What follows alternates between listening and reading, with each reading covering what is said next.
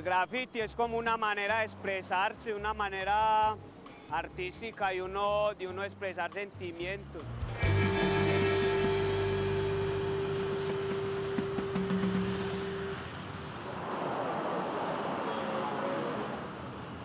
El graffiti y la orografía nosotros lo tomamos como un aspecto de ciudad. Nosotros queremos siempre mm, eh, estar pe- presentes en la ciudad, tener nuestro, nuestro punto de vista y siempre nosotros eh, plasmamos que estamos aquí.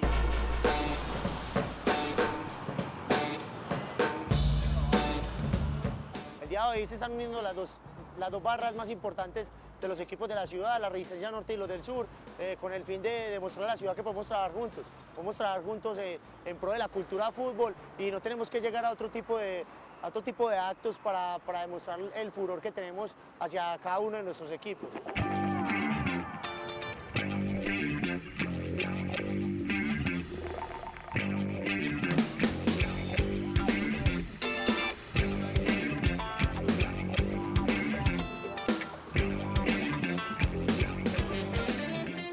Siempre se han respetado mucho, es un código que los barristas hemos tenido sí toda la vida, pero bajo algunos problemas que pasaron en el tiempo cercano, eh, estuvimos faltando al respeto a este tipo de cosas, donde nunca se hizo antes en, en todos estos años.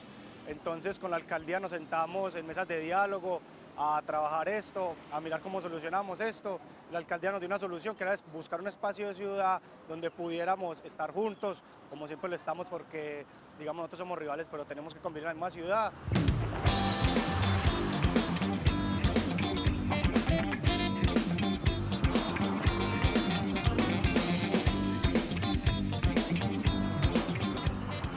Estamos haciendo esta intervención acá en un espacio muy importante para la ciudad, como lo es el deprimido de la avenida San Juan con la avenida 80, con la carrera 80, perdón, y demostrando a la ciudad que, que nuestra, nuestra lucha es diferente, nuestra lucha es con, con arte, con, con, con música, con pintura, y con base a eso es donde sale esta mega pintada que incluso es primera vez que se hace en la ciudad, una pintada de este tipo mezclando el grafiti y el muralismo con las barras y es primera vez que las barras tienen un muro tan grande y apropiado en la ciudad de Medellín. Si le vas a hacer el lado de allá.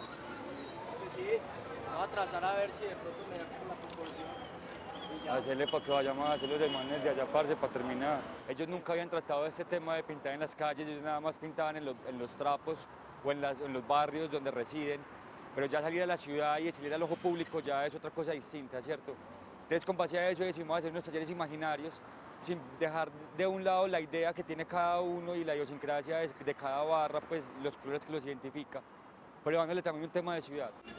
Ese es el estadio. Sí. ¿Y por qué ahí?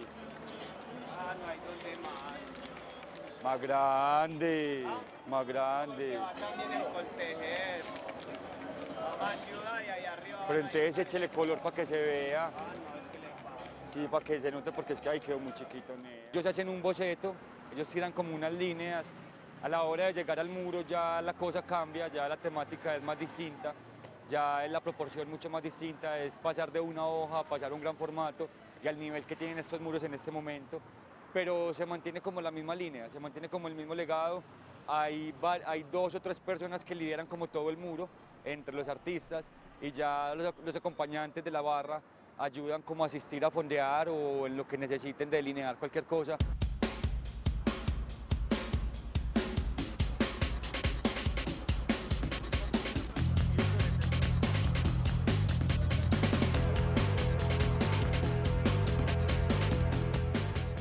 Eh, ya eh, caracterizando pues lo que es eh, lo que fue el pasado del Nacional, representándolo con Reneguita y pues en ese momento lo que está en el presente, el Franco Armani. Como mostrar pues como las figuras más representativas del pasado y del presente. Y obviamente pues como el orgullo que representa pues cada uno de las barras pues del equipo.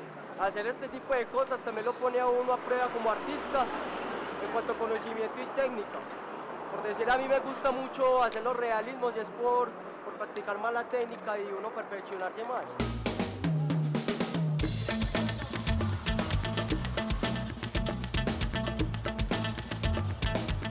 Cuando niño fui muy aficionado al graffiti, pero a veces como que una cosa lleva a la otra y, me enamoré más de la aerografía. Luego llegué a la barra, empecé a trabajar con la barra y hoy en día como me especializo es más que todo en banderas gigantes.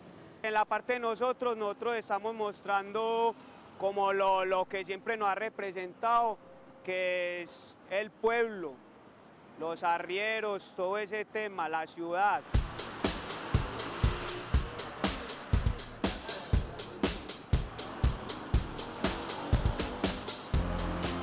Yo llevo cinco años trabajando con el tema de grafiti en la ciudad.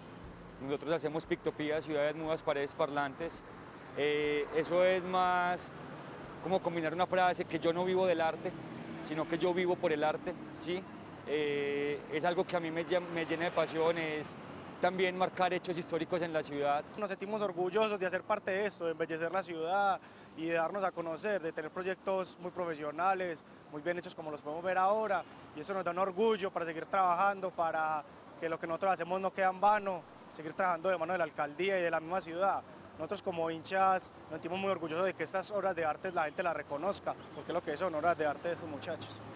Sí, ha sido muy bonito. Eh, ayer que iniciamos la intervención, mucha gente publicó en las redes sociales y pasaba por acá desapercibida y veía la intervención y decía, uy, qué bacanería, qué bacano lo que están haciendo, qué bueno muchachos, y eso la verdad que es, es el, mejor, el mejor combustible que podemos tener nosotros los barristas.